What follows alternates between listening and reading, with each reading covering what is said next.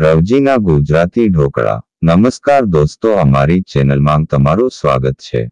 એક ગામમાં રવજી નામે એક ખેડૂત રહેતો હતો. એ ખાવાનો ઘણો શોખીન હતો. એની યાદદાસ્ત ઘણી ટૂંકી હતી એટલે એ બધું જલ્દી ભૂલી જતો. એક દિવસ રવજી બીજા ગામમાં એના મિત્રના ઘરે ગયો. એના મિત્રની પત્નીએ ઢોકળા બનાવ્યા હતા. એને ઢોકળા બહુ ભાવ્યા. રવજીએ ઘરે જઈને એની વહુને રાતે જમવામાં ઢોકળા બનાવવાનું કહેવા નક્કી કર્યું.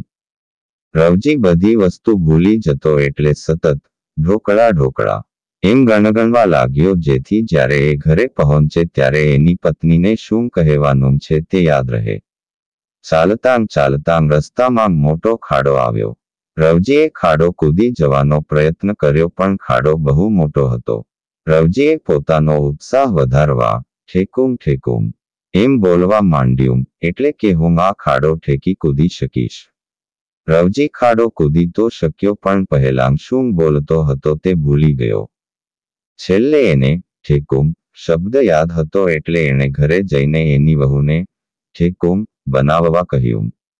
રવજીની વહુએ એને કહ્યું કે ઠેકુમ નામની કોઈ ખાવાની ચીજ જ નથી. પણ રવજીએ તો દલીલો કરી કે એના મિત્રની પત્નીએ તો ઠેકુમ બનાવ્યું હતું રવજીની વહુએ એને સમજાવવા બહુ કોશિશ કરી પણ આ તો કાની સમજતો જ નહોતો. રવજી ઘણો ગુસ્સે થઈ ગયો. એની વહુ બૂમો પાડીને રડવા લાગી. પાડોશીઓ એના ઘરે દોડી આવ્યા. રવજીની વહુ એટલી બધી ગભરાઈ ગઈ હતી કે ઢોકળા જેવી પીળી થઈ ગઈ હતી. પાડોશીઓએ એને કહ્યું કે એને ઢોકળા જેવી પીળી કરી દીધી છે. ઢોકળા શબ્દ સાંભળીને રવજીને યાદ આવી ગયું કે એની વહુને ઢોકળા બનાવવા કહેવાનો હતો.